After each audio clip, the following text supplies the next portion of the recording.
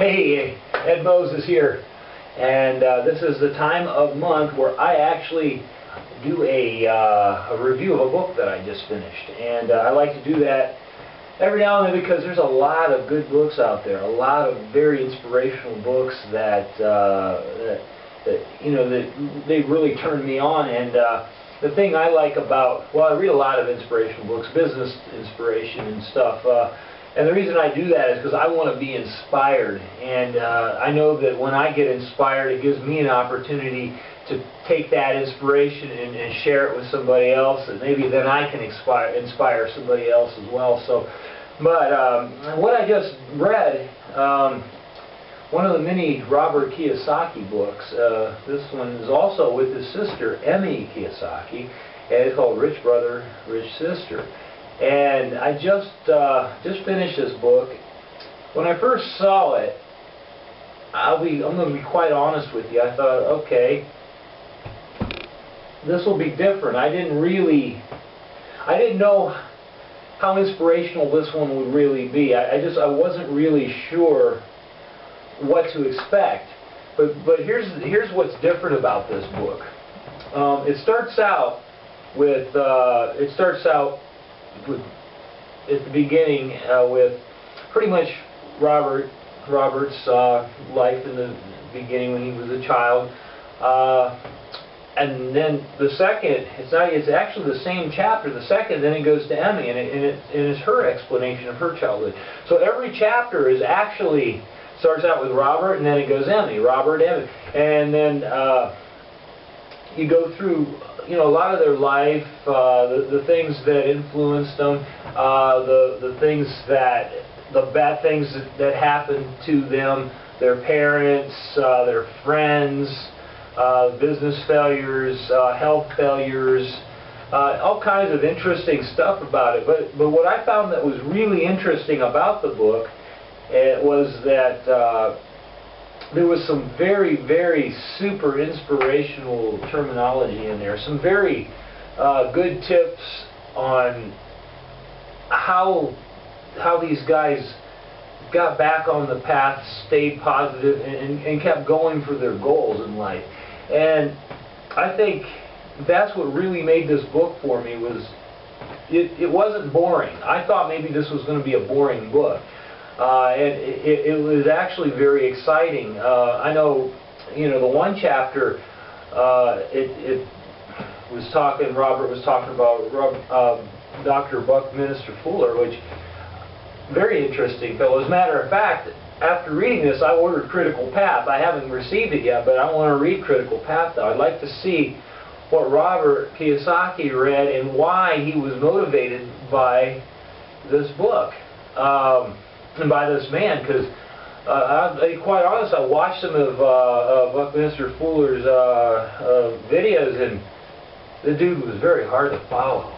You could tell he was brilliant. He's probably genius level, uh, but it was very hard to understand what he was saying because it almost seemed like he was mumbling a lot. But but it was a lot of very technical mumble about a lot of very technical spiritual business ideals that he had developed and, and utilized to make himself who he was.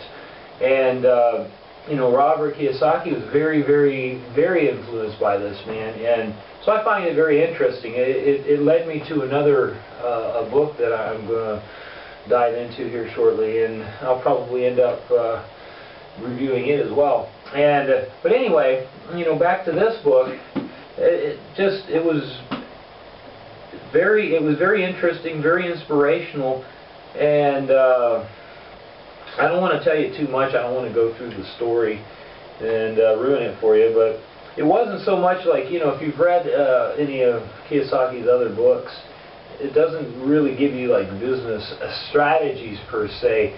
Uh, it gives you more like uh, stories about their lives and, and what they did to change their situations at the time or what they were thinking and how they felt about their situation and uh, what brought them out of a negative situation into a positive situation. And so I found it I found it very interesting. The very end of the book, you know, goes was very different. Uh, kind of,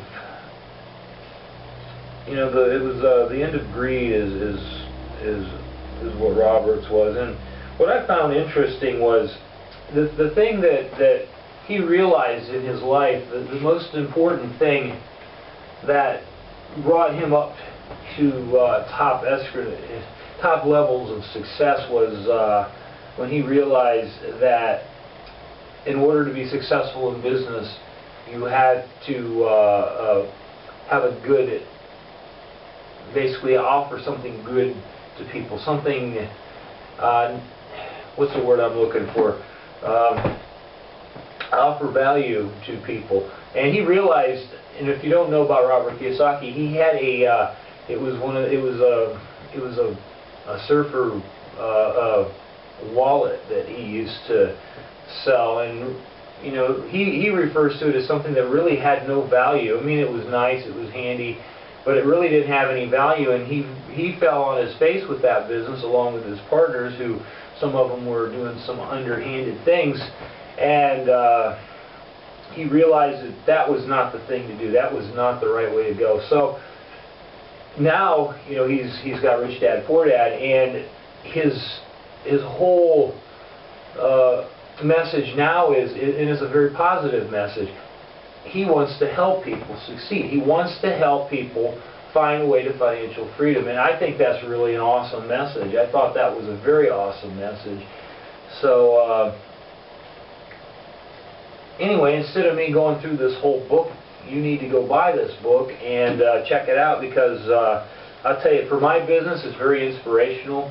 Uh, if you want to look and see more about my business, right below this video is a link. You can check it out. Be more than happy to hear from you and talk to you, whatever. And I am very glad that you had a chance to watch this video, and I enjoyed making it for you. So you have a great day, and I will see you in my next video. Bye now.